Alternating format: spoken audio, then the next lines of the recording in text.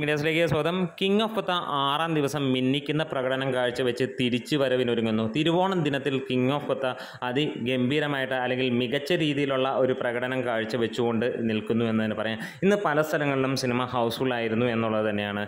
ഇന്നലെ വരെ സിനിമയ്ക്ക് വലിയ രീതിയിലുള്ള ഡീഗ്രേഡിങ് കാരണം നല്ല ലെവലിൽ ആൾ കുറവായിരുന്നെങ്കിൽ ഇന്ന് അതൊക്കെ മാറി മറിയുന്ന ഒരു കാഴ്ച നമുക്ക് കാണാൻ കഴിഞ്ഞു. ഇന്നലത്തേനേക്കാൾ കൂടുതൽ കളക്ഷൻ ഇന്ന് സിനിമയ്ക്ക് വരുന്ന ഒരു കാര്യം കണ്ടു. അതുമാത്രമല്ല അഭിപ്രായങ്ങളിൽ വലിയ രീതിയിലുള്ള വ്യത്യാസം വരുന്നു. കണ്ടവർ പറയുന്നു ഇത് നല്ല സിനിമയാണ് എന്നുള്ള കാണാത്തവർ ഡീഗ്രേഡ് ചെയ്ത സിനിമയെ കണ്ടവർ അത് പ്രൊമോട്ട് ചെയ്യുന്ന ഒരു കാര്യത്തിലേക്ക് വരുന്നു. ഇന്ന് കിങ് ഓഫ് കൊത്ത എന്ന സിനിമ കുടുംബ പ്രേക്ഷകരെ ഏറെ അടുപ്പിക്കുന്ന സിനിമയായി. ഈ പ്രാവശ്യം ഇറങ്ങിയ സിനിമകളിൽ ഏറ്റവും കൂടുതൽ കുടുംബ പ്രേക്ഷകർ കാത്തിരിക്കുന്ന അല്ലെങ്കിൽ അവർ ഇപ്പോൾ സിനിമയ്ക്ക് കയറുന്നത് ഈ സിനിമയ്ക്ക് വേണ്ടി തന്നെയാണ് എന്നുള്ളതാണ്. ശക്തമായ ഡീഗ്രേഡിങ്ങിനെ അതിജീവിച്ച് തന്നെയാണ് സിനിമ ഇപ്പോൾ മുന്നോട്ട് കുതിക്കുന്നത്.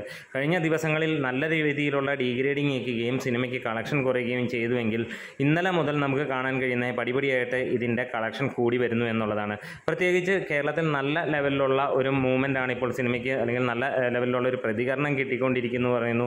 ഇനിയും വരുന്ന അഞ്ചെട്ട് ദിവസം സിനിമയ്ക്ക് നല്ല ലെവലിലുള്ള കളക്ഷൻ കിട്ടും എന്നുള്ളത് തന്നെയാണ് കരുതുന്നത്. ആ രീതിയിലുള്ള ഒരു മുന്നോട്ടുള്ള കുതിപ്പ് തന്നെയാണ് സിനിമ കാണിക്കുന്നത്. വേൾഡ് വൈഡ് മികച്ച രീതിയിലുള്ള അഭിപ്രായങ്ങൾ തന്നെയാണ് സിനിമയ്ക്ക് പോകുന്നത്. ഇന്നലെ വരെ സിനിമ മുപ്പത്തി അഞ്ച് കോടി റേഞ്ചിലേക്ക് കടന്നിരുന്നു എന്നുള്ളതാണ്. വരും ദിവസങ്ങളിൽ സിനിമ അമ്പത് കോടിയിലേക്ക് എത്തും എന്നുള്ളതും ഉറപ്പിച്ചിരിക്കുന്നു എന്ന് തന്നെ പറയാം. എന്തായാലും ഇന്നത്തെ പല സ്ഥലങ്ങളിലുള്ള ഹൗസ്ഫുൾ ഷോസുകൾ ആ, തീരുമാനിക്കുന്നത് സിനിമയെ കുടുംബ പ്രേക്ഷകർ മാത്രമല്ല എല്ലാത്തരം പ്രേക്ഷകരും ഏറ്റെടുത്ത് തുടങ്ങിയിരിക്കുന്നു. ആദ്യ ദിനങ്ങളിലെ ഉള്ള നെഗറ്റീവ് പ്രചരണങ്ങളിൽ നിന്ന് മാറി സിനിമയ്ക്ക് വലിയ രീതിയിലുള്ള ഒരു അനുകൂലമാകുന്നു ആ നെഗറ്റീവ് പബ്ലിസിറ്റി. കാരണം വലിയ ഹൈപ്പിൽ വന്ന സിനിമ ഹൈപ്പ് വില്ലനായി എന്ന് നമുക്കറിയാം.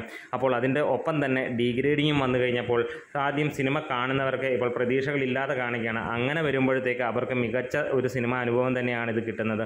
ഒപ്പം ഡീഗ്രേഡിങ് കാണുമ്പോൾ അവർക്ക് മനസ്സിലാവുന്നുണ്ട് ഈ സിനിമയെ അത്ര കണ്ട് ഡീഗ്രേഡ് ചെയ്യാനുള്ള കാര്യങ്ങൾ അതിനകത്തിൽ ഇല്ല എന്നുള്ളതും. എന്താണെങ്കിലും തിരുവോണ ദിവസം അതിഗംഭീരമാക്കിയിട്ടാണ് കൊത്ത കുതിക്കുന്നത്. വരും ദിവസങ്ങളിലെ കാര്യങ്ങളും ഒക്കെ ആയിട്ട് നമുക്ക് വരാം. നമ്മുടെ വീഡിയോസ് ഇഷ്ടമായാൽ ഒന്ന് സപ്പോർട്ട് ചെയ്ത് തരണം. Grey medias.